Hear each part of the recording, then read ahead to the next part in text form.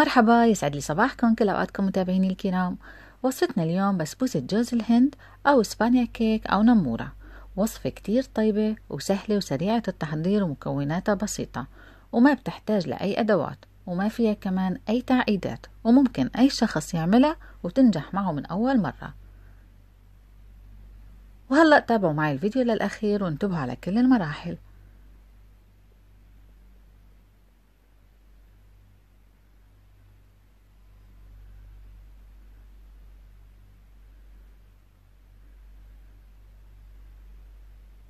المقادير على الشاشة وبتلاقون كمان بصندوق الوصف.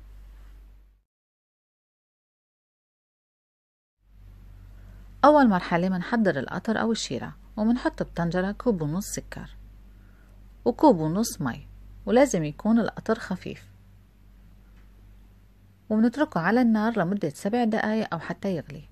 وبعدين بنضيف أقل من ربع ملعقة صغيرة ملح الليمون وبنتركه كمان يغلي ثلاث دقايق. ومنطفي النار ومنحطه على طرف حتى يبرد تماما.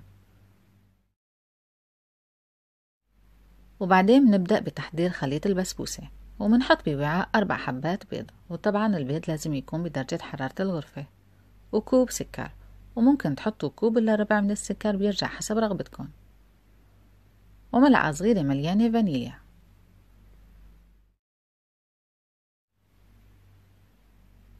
ومنخلط حتى يصير لون الخليط فاتح. وبالنسبة للبيض ما تقلقوا من وجوده ما بتحسوا بطعمته أبدا. بس هو هذا الحلو هيك أصوله وبتمنى تلتزموا بالطريقة. وممكن كمان تخفقوا البيض بأي خفاقة كهربائية متوفرة عندكم. وهلأ هيك تمام. وبعدين منضيف كوب لبن زبادي. الكوب اللي استخدمته ووزنت فيه كل المقادير هو كوب المقاس وسعته 250 ملي منضيف اللبن ومنحرك حتى يندمج بشكل جيد.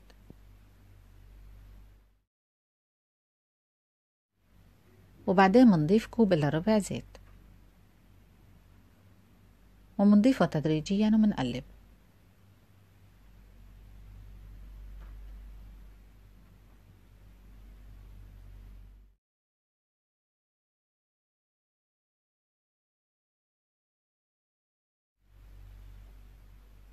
وهلأ بنضيف كوب سميد ناعم ولازم السميد يكون ناعم بهذا الشكل.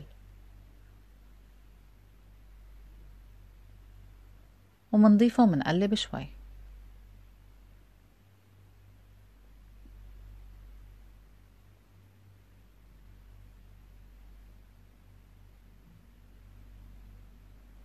ومنضيف كمان كوب جوز الهند ومنقلب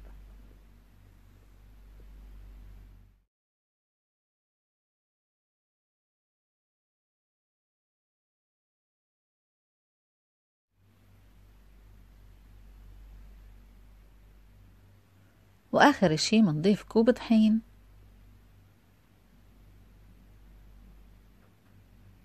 وملعقتين صغار ممسوحات baking powder.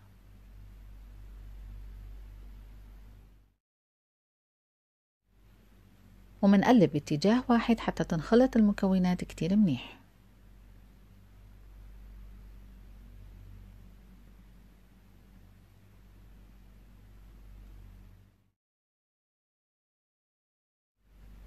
وهيك الخليط صار جاهز. لاحظوا قوامه.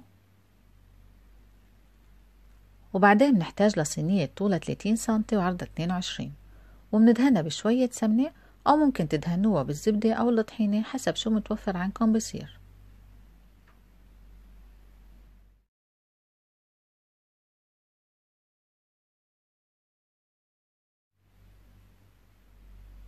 ومنحط خليط البسبوسة.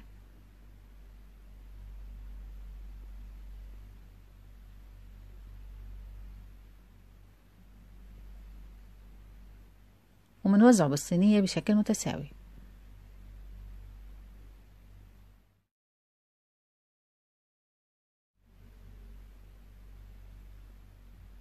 ومنطرق الصينية شوي حتى يتساوى سطحها وبعدين نتركها ترتاح لمدة ساعة.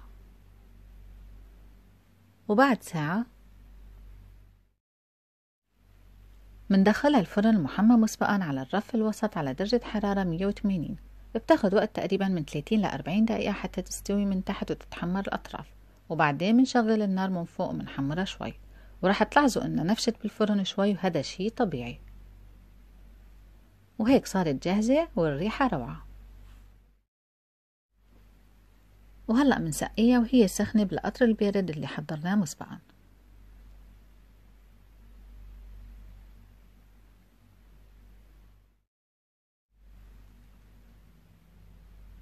ومنحط كمية القطر كلها واللي بيحب القطر كميته كبيرة يعمل كاستين سكر مع كاستين مي.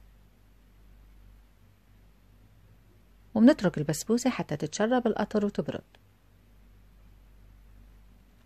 لاحظوا كيف تشربت القطر وبعدين منزينها بجوز الهند.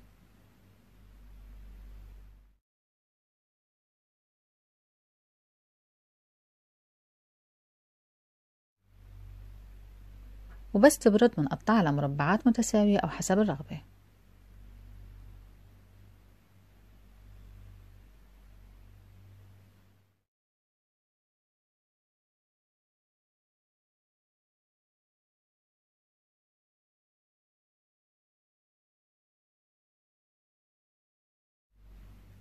ورشة فستق اختيارية. وبتتقدم وصحة وألف عافية. وممكن تغطوها حتى ما تنشف وتحتفظوا فيها بالبراد لوقت التقديم. ولاحظوا شكلها من جوا بصراحة كتير طيبة ورطبة وما بينشبع منها وطعمة البيض ما بتحسوا فيها أبدا أبدا أبدا وبنصحكم تجربوها.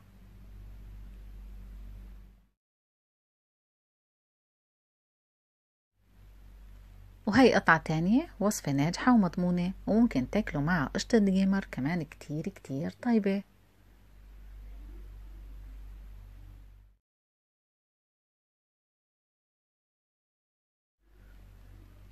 وهيك خلص الفيديو لليوم. بتمنى يكون عجبكم ولا تنسوا تبعتوا لي صور تطبيقاتكم على حساب الانستغرام.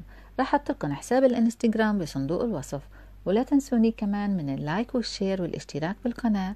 وبشوفكم فيديو جديد. يلا باي باي.